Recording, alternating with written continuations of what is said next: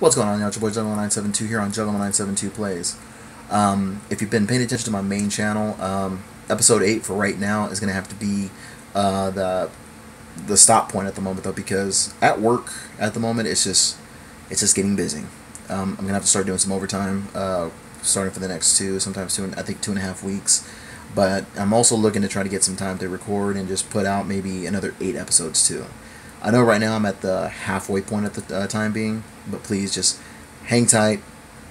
Um, once I can get some time, I'm going to try to uh, get things done. You'll know for me uh, firsthand on this channel and on my main channel, Juggalo972. So please, uh, if you're looking for a new episodes coming this week, they're not coming, unfortunately.